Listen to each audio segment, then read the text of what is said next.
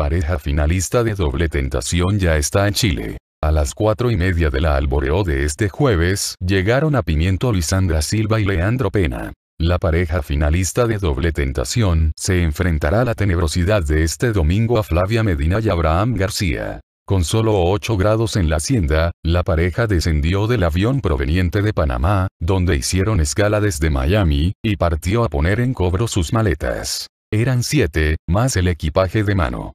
Tras esto, tuvieron algunos problemas para acomodar todo en el transporte de Mega que los fue a despabilarse al aeropuerto. Empezó la competencia.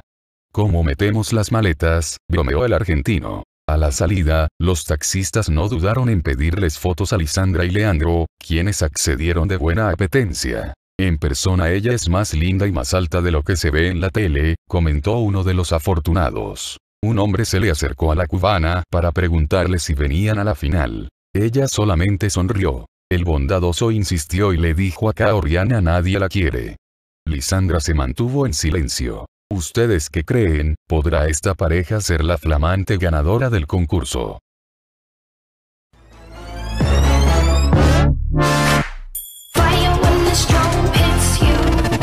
That's it, Brian? Yes.